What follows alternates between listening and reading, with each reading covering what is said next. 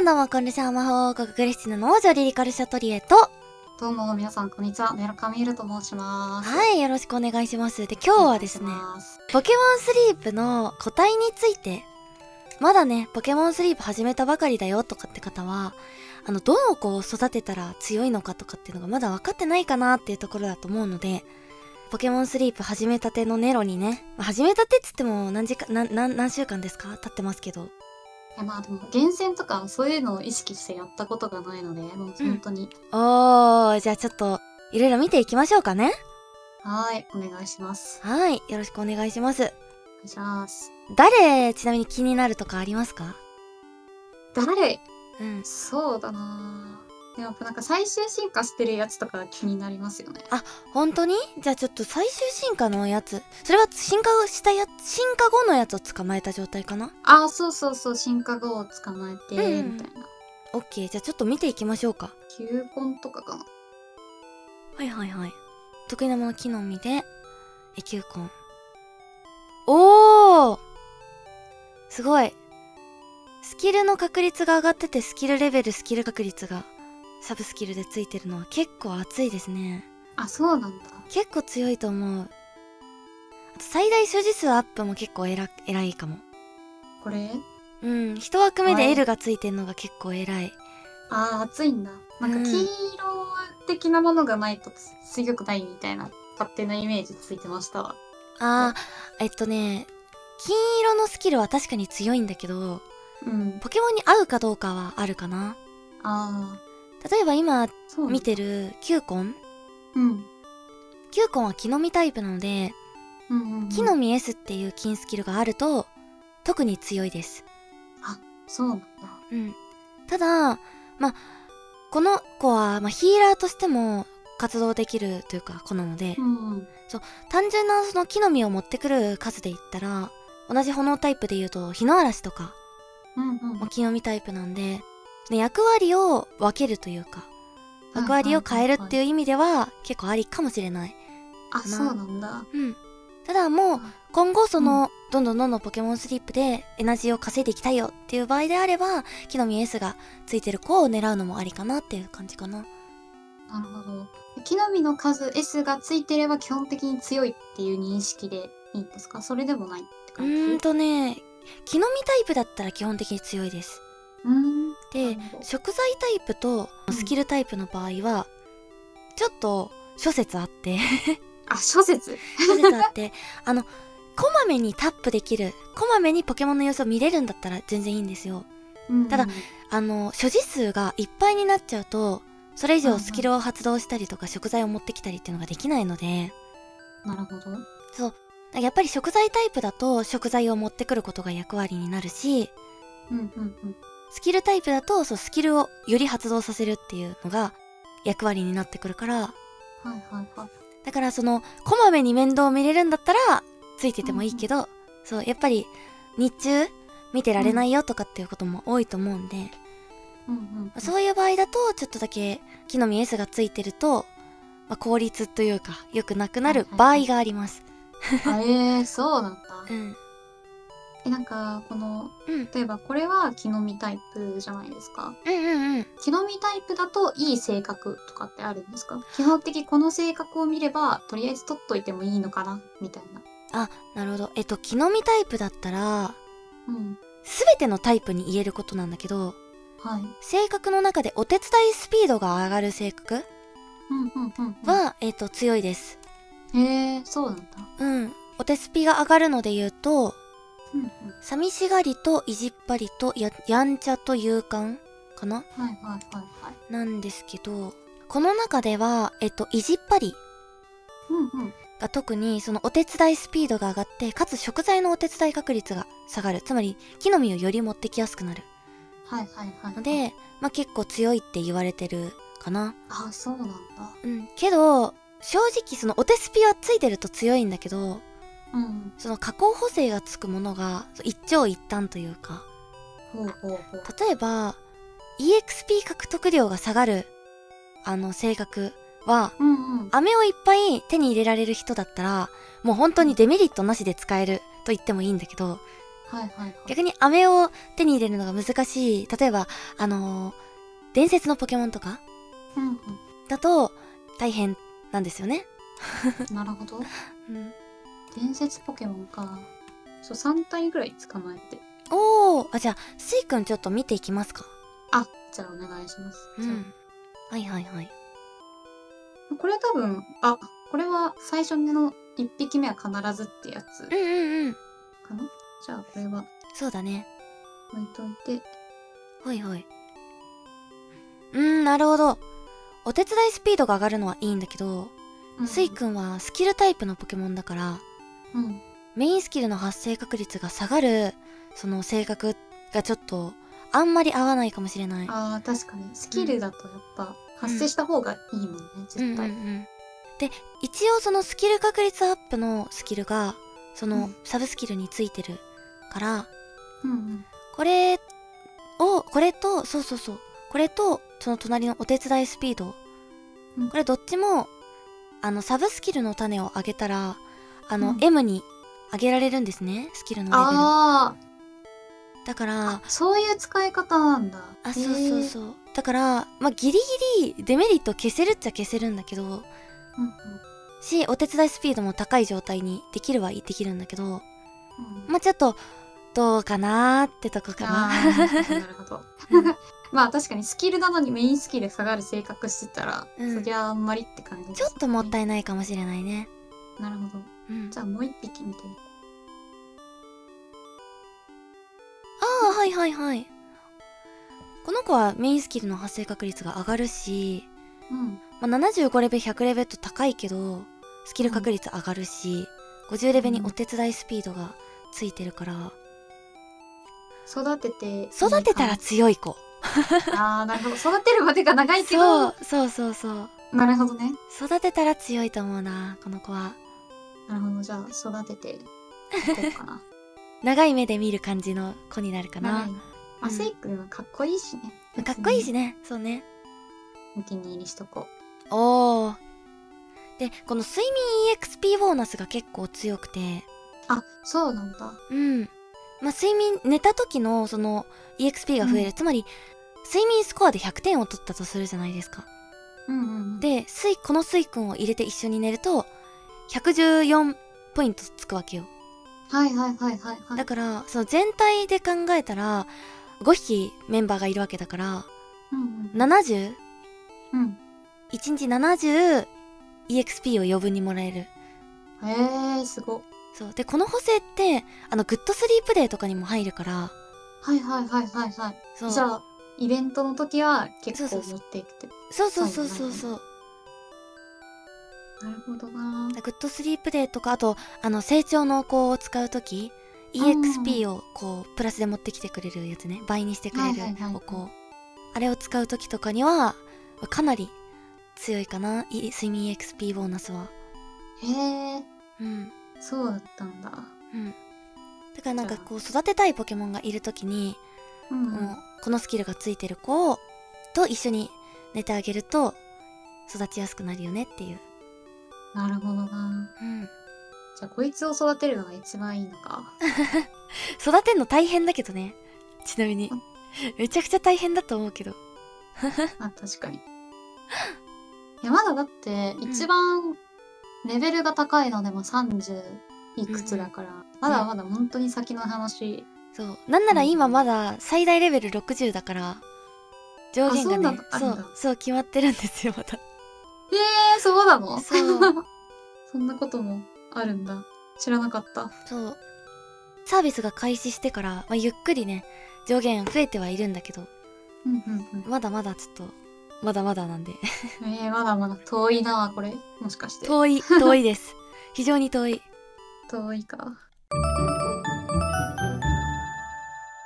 あ、そう、お気に入りしてるのは、はいはいい。はいこの子をよく入れてて、色違いのね。うん。そう、載せてた子なんですけど、そうねこの子は、うんうんあいいね。この子木の実タイプじゃないですか。うんうんうん。でお手伝いスピードが上がる性格かつ25レベルでお手スピ上がる。これ強いよ、であ、強いんだ。強い、まあ、木の実 S はついてないんだけどうんうん。ただあのスキル確率がついてるじゃないですか一番初めに。はい。そうこの子あの食材ゲゲットうん。をのスキルを持ってるんで食材鍋を埋めるためのね食材を持ってくる係としても結構優秀かもしれない。ああ、そうなんだ。うん。あと75レベルとトークはあるけどお手棒がついててお手伝いボーナス、これがこれ強いスキルですね。ええめちゃくちゃ強いスキル。木の実 S よりワンチャン強いかもしれないぐらい強いスキル。そうなんだ。全員のお手スピが上がるんではいはい。これ強いですね。え、これってストックするんですか？えっとねうん。例えばこう、今お手伝いボーナスうん。玉ざらしが置いたとしたら、あと3体ぐらいいたらそれってどうなる？の全部重ね掛けされます。えー、絶対強いこれ。めちゃくちゃ強いです。めっちゃ強い。そう。めっちゃ強いからはいはいはい。強い子ですねこれは これ強い子ですね。これ育てようかな。せっかく色違いだしねそう。まあのおすすめは進化させないでおくことかな一旦あ、えー、あ、そうなの？大変なんだけどあのえっと下スクロールしてもらってこの一緒に眠った時間っうん。ていうのがあるじゃないですかはい。これが長い時間になるとどんどんどんどんあのお手伝いスピードが上がったりとか最大所持数が増えたりとかするんですよはいはい、はい。で進化前のポケモンって何時間以上そのある程度の時間寝るとお手伝いスピードが進化前のポケモンにさらにかかるみたいすさらにお手伝いスピード上がるみたいなのがつく、そうなんだ。で1000時間？うんうん。すごい大変だけど1000時間一緒に寝るとはい。笑顔のアイコンが追加されるのねはいはいはい。そのポケモンの笑顔のアイコンが追加されてで色違いのポケモンは色違いの笑顔のアイコンになるんですよ。ほうほうほうほう。だからせっかくたな玉ざらしの色違いだからうん。進化前のまま1000時間一緒に寝て笑顔のアイコンを取るのは結構ありかなと思います。なるほど。うん。え、でもなんか、うんうん。めっちゃめっこう、バカすかバカすか、うん。あの、進化をさせるっていうのは、あんまり良くないってことなんですか、えっとね進化後の方が強いんだけど、うん進化前でも活躍できるようになってきてるって感じかなああ、なるほど。一緒に寝てあげることでいっぱいその時間うんうを過ごすことで、進化前でも、まあ、活躍できるうんうんうんようになる、これがうちのリザードンのおお。えっ、と、まあ、2000時間寝たリザードンのこのついてるリボンお休みリボンってやつがつくんですけどお休みリボンなんですね、うんうん。でこれがその進化ができる場合だと、お手伝い時間が 12%25% 短くなるって書いてあるんだけど。つまり人影だったら25%短くなってるわけなんですはいはいはい。やっぱり進化前の方がお手伝いスピード遅いんだけどうんでもこのお休みリボンがあることによってかなりその同じ近い水準ではいはいはい。その活動活躍できるようになるからおー、なるほど。じゃあ、ちょ、この玉ざらしはうん。置いておこうかな。そうそうそう。笑顔のアイコン撮るのも結構おすすめだしね。確かに。可愛いんですよ笑顔のアイコン。なんだかんだ色違い3匹か。いいね。3匹いるの。レアコイルとメリーいいグと玉ざ大らし。好きなんだけどなんで来ないかなうちのとこには。なんかレア可コイル、愛い。そうレアコイルなんか、うん。スキルタイプで、うん。スキル活性高いから、強い。のかな。強い。強いんだけど非常に強いんですが、あの この鍋の容量を増やすっていうスキルがえ、ゴミじゃない？ゴミじゃないけどゴミじゃないのよ。食材をいっぱい用意できるクロートの方向けなんですよ。あー、もうクロート向けなんだ。そうそうそう。あの食材タイプのポケモンをいっぱい育てててもうモリモリ持ってきますよこいつらみたいな感じの人だったらもうもうむしろ鍋の容量いっぱい増やしまくってね、うん。であのポケモンによってはその大成功の料理の大成功の確率を上げるスキルとかあったりするんだけど。あそういうのー、とかを。う、うが確かそうだあそうそうそうそう。そういうのとかをこう入れまくってもう信じられないくらいその育てることができるんだけど。うん。うん。育てるまでが大変だ 本当にこいつの色違いだったんだ。あゴクリンだかわいいねゴクリンその夢のかけらゲットがついてて最近その強さを見直されつつあるポケモンですねああ、そうなんだ。そう夢のかけらが枯渇するからああ、まだ枯渇はしたことないけど。なんか鍋の容量を増やしたりとか、うんうんうん。あのポケモンのなんていうのかなレベルを上げる？はい、ああ、そうだね。そうレベルが高くなればなるほどこの夢のかけらをどんどんどんどん使わせてくるんですよ。はいはい。あー夢のかけらボーナスもついてるんだ。そう、でもなんかあんまり性格あれなのかなと思って使ってない。あ夢のかけらにまだ枯渇してないからっていうのは分かるか。うんうんうん。元気回復量は確かに下がっちゃうとその元気のなんていうのかなお手伝いスピードが下がるから。うんうん。そう元気が回復しないとねお手伝いスピードがちょっと落ちるから、確かに。強いとは言えないんだけどただその回復をできうるポケモン、例えばさっきのえっ、とキューコンだとか、うんうんうん、あとはあのよく言われてるのだとサーナイトプクリンニンフィアとかここら辺のポケモンが育ってるとそのはいはい。いっぱいスキルを発動してくれるからあんまり気にならなくなるかも、ああ、なるほど。うんじゃあその回復をしてくれてる子を合わせてちゃったらもう結構強くなるってこと？そうね元気回夢のかけらを集め復るには。うんうんうんありかなって思いますねただ夢のかけらボーナスをその発動させるのにはスキルレベルが上がれば上がるほど持ってくる量は増えるからうんうんそうっていうのとカビゴンを育てれば育てるほどうんうん。ランクの高い寝顔が来て夢のかけらがより手に入るからそう。そっちで狙ってもいいかもねああ、なるほど。そう今の段階ではポケモンがもっともっと育てられるようになるなったら夢のかけらボーナスもっと輝くと思うんでうんうん。夢のかけらボーナスじゃない夢のかけらゲットかうん食材タイプのポケモン見てないからなんか食材タイプのポケモンで食材、あごじ虫見ていきますか見てないのがバレる。ニューって書いてあると。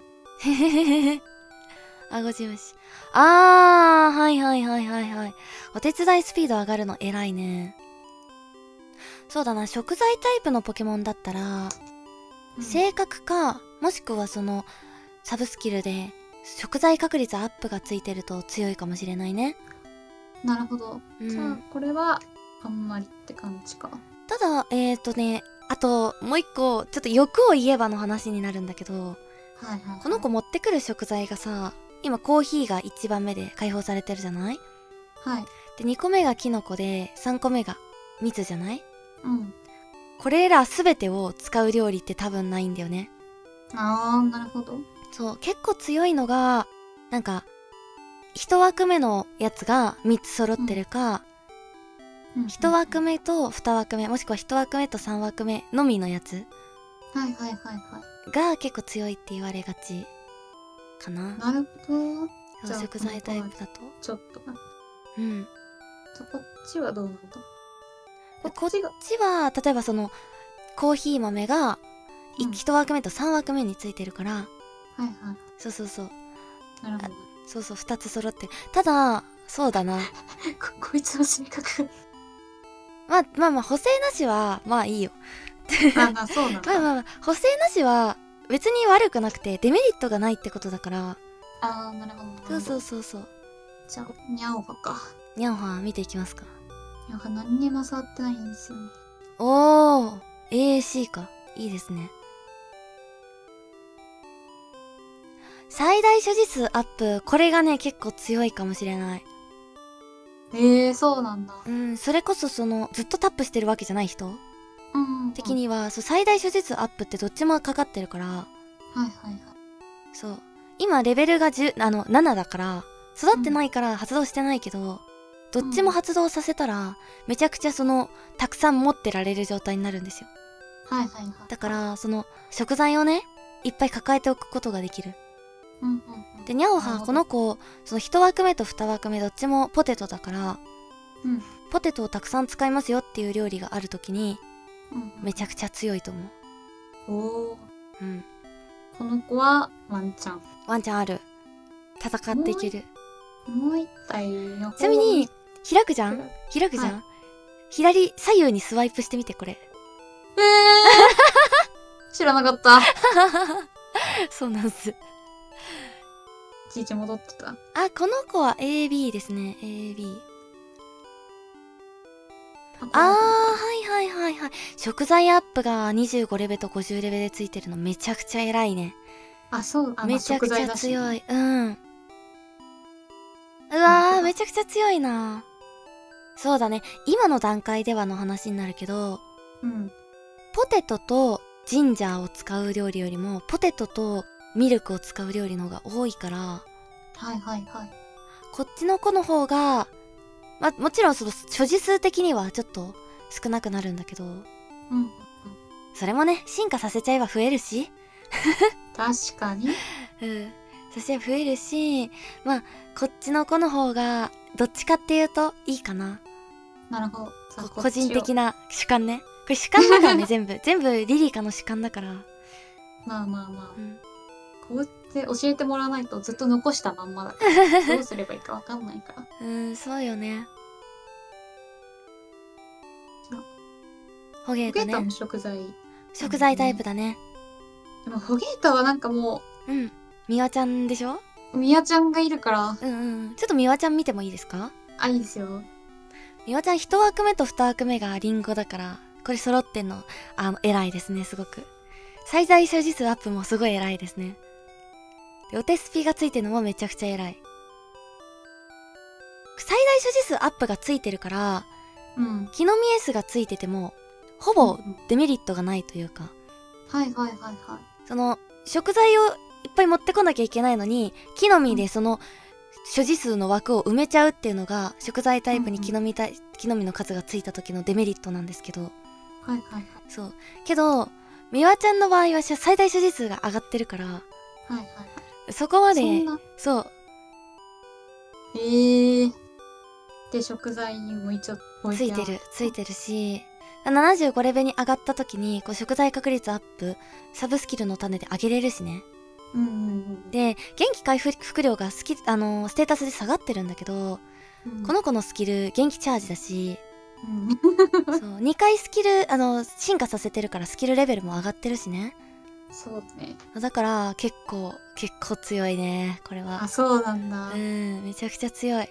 そう、なんかリリカと羊が、えー、これ強いって言ってた。もう全然わかんなくて最初。強い強い。強いっす。なるほど、なるほど。うん。じゃあ、この子はもう育てて。この子はもう、いいよ。なんかもうずっと育ててきます。バリバリで。あ、クワッスね。クワッス何にも。あクワッス難しいとこなんだよね、これがね。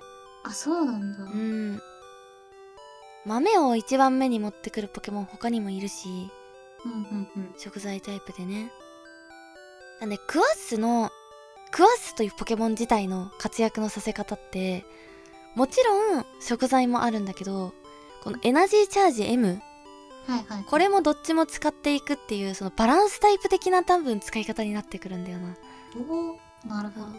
クワッスを活躍させるっていうところで考えると。うんうん結構ポケモンごとに特性みたいなのあるからさ、うんうんうんそのタイプと料理とスキルと。うん。だから、ちなみに他もう一匹とかいたりする？はいはいはいはい。この子はメインスキルが下がっちゃうから、せっかくのエナジーチャージが発動できないのがちょっともったいないとこかな。なるほど。これウェルカムも一応いるんだけど。あらあらあら強いじゃないですか。あ、でも食材確率が下がっちゃってるね。そう。うわー、強いんだけどな。スキルレベルアップが2つついてるから、もう逆に、もう自分はスキルタイプみたいな顔をさせるしかないかもしれない。ああ、なるほどなるほどう。ん、ただ、スキルタイプと食材タイプとっていう明確な違いがあって。スキルタイプのポケモンってスキルを2個ストック、2回分ストックできるんですよ。ほうほうほうほう。そう。けど、食材タイプだと1回しか発動できないから、じゃあ、あれか。一回ずつこまめに見ないといけない。そうそうそう、こまめに見てあげる、様子見てあげる必要があるかも。うんなるほど。このスキルレベルアップは、あの、あれなんだ、スキルタイプとかメインスキル発生させたいやつが持ってたらめっちゃ最強なんだ。というか、スキルレベルアップってメインスキルの種を上げれば、スキルレベル上がるんですよ。あ、まあ確かに。そうなんだけどメインスキルの種って今のところ供給がその少ないからだからスキルレベルのアップがついてるといいよねっていうめちゃくちゃ余らせてる人いるな でも例えば今後例えばサーナイトとかヒーラーのポケモンを入れるってなったら、その子をスキルレベルを最大にしておきたいはい、はい。わけですでその一番進化前のポケモン例えばうんラルトスとか、うんうん。ププリンとかね。を、うん。そのから育てたとしてもまあスキルレベルが3でそっから、まあ、最大になするってなるとまあメインスキルの種4つぐらい1匹に使うんですよ。はいはいはいはい。そう。だから、まあ、結構ねメインスキルの種って使いどころが大変で。あー、なるほどなるほど。そう。っていう時にこのメインスキルアップがついててくれるとちょっと助かるあー、確かに種使わなくてもアップしてくれるんだったら。ただスキルレベルが上がるだけだからスキルの確率は上がらないから、ここだけ注意だね、なるほど。うん。スキル、メインスキルがアップするの条件って、種と、このスキルレベルアップと、うん。あとは進化そう。の3つって合ってる？そうです。進化させる。うん基本的にはこの3つかな。そもそも上がる条件知らなかったから、今 履歴の話聞いて。なんか勝手に上がっなんか2のやつと1のやつといるなみたいな。え、そうそう、思ってた。そうだね。なるほどね。食材か。これ食材とか分けられないのかな？分けれるかな？この得意なとものみたいなあるかな？ない？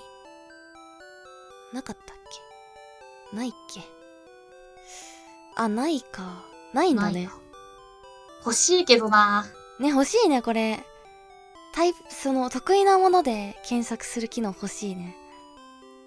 ゼニガメ B って書いてあるやつら。あの、なんか調べて、うん。あの、性格ポチポチ打って、これはうん。B ランクのゼニガメですって言ってたから、ゼニガメ。あーなんかありますよね そういうサイト。ツール。はいはいはい。あねランクってそんな気にしなくてもいいけどね例えばこの子 B ランクだかもしれないけどうん。AAB なんですよその食材がね。はいはいはい。でえっ、とまあミルクをいっぱい持ってきてくれるしデザートとかだとミルクとカカオを使うって料理結構多いしではいはいはい。スキル確率が上がってるじゃないですか。うんうん。ゼニガメのスキルってその食材ゲットなんでうんうん結構その食材これ足りないよってなる時に結構使えるうんはいはい。初代御三家はねこのスキルが強いんですよ。でえ。ーお手伝いスピードがあの性格とサブスキルで上げれるでしょ？うんうん。でこのお手伝いスピード S をもあのサブスキルの種でも上げれるしうんうん。で50レベル睡眠 EXP ボーナスがついてくる。うん。これ強いよ。強いんだ。強いちゃんと。食うん確かに食材確率は上がってないけどでも強いよ。へえ、うん。そこいつも B だったんだよ。あーこの子も強いね。あでもこの子は性格で下がっちゃうからちょっともったいないかな。そうだようねんちょっともったいなさはある。プラマイで言ったらプラなんだけどね。あこの子か。この子木の実 S がついてるからうん。エナジーを稼げる。特にその水タイプの島、シアンとかね。だったらより稼げるし、あとお手伝いボーナスもついてるしうん。お手スピ上がるし強いですね。あこの子が今現状一番強いんだ。うんどうかな。このい一匹目のポケモンちょっとみもう一回見せてもらってもいい？うーんどっちかな。好みかもしれん。どっちかで言ったら。でも好みか。まあ3匹目？うんうん。の方が自分的には使うこと多そうって感じうん。うんなるほどなるほど。みたいな感じでしょうか。でしょうね。はい。あでもとりあえずやることとこれを育てた方がいいっていうのを教えてもらったから多分もっと効率的にできるんだなって思います、わかんないとマジで何も分からずやっちゃうから。そうね。そうなんだよね。このゲームむずいところ。ダイヤを使うタイミングも分かんなくて。はいはいはい。え課金できるならいくらでもダイヤ使っていいんですけどできない場合合なんは例えばイベントのショップが出るじゃん。イベントパックみたいな。あれは、まあ、強いのもあるから買っていいかなみたいな。うんあとは例えばそのイベントがあるけどいいキャンプチケット持ってないって時に買うとかいいキャンプチケットをね。はいはいはい。とかグッドスリープデーが来るけど成長の子を持ってないとか、持ってない一個も。って時にまあなんかグッドスリープデー来る時になんかグッドスリープデーのパックが出るんだけど、うん。まあ、そっちで買っちゃうかまあこの単体で買うか。はいはいはい。とか。だからなんかなんだろう。ちょっとコンサルじゃないけどさうん。育てるか悩んでるポケモンをさこうこれはい。この子どう思いますか？みたいな感じでこう視聴者さんからさ募集したりとかしてさ、うんなんかショートとかあげるといいかもね。そうそうそう。でそれをなんかこうこっちからジャッジしたりとかリスナーさんがジャッジしたりとかっていうのをやるのもありかも。確かに。おもろそう。おもろそう。気になったらじゃあリリカに聞いてうん。アドバイスしてもらおうかなこれからも。わーい。よろしくお願いします。いやよろしくお願いします。本当に。じゃあね今日のこの動画はこの辺りで締めますかはい。あはい。りがとうございました。はい。えこれからもポケモンスリープネロさん頑張ってください。はい。頑張ります。はい。えちょっとネロがねプロポケモンスリープリサーチャーになることをちょっとなる日を楽しみにしているんで。あーそういつかちょっとリリカ頑張って超えるように。待ってます。はい。ではありがとうございました。はい。ありがとうございましたご視聴ありがとうございます。これからもポケスリが楽しくなる動画をどんどん投稿していくのでチャンネル登録高評価コメントよろしくお願いします。それでは皆様おつるせです。バイバーイ。